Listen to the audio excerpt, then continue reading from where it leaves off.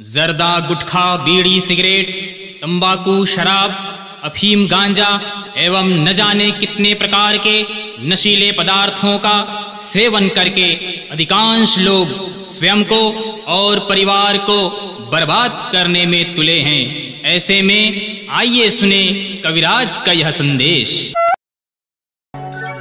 नशा न करना, मान लो कहना, प्यारे भाई, बहना, होगी बड़ी खराबी, होगी बड़ी खराबी। नशा में डर है, नशा जहर है, जीत जी मर जाना, होगी बड़ी खराबी, होगी बड़ी खराबी। नशा न करना, मान लो कहना, प्यारे भाई, बहना होगी बड़ी खराबी होगी बड़ी खराबी।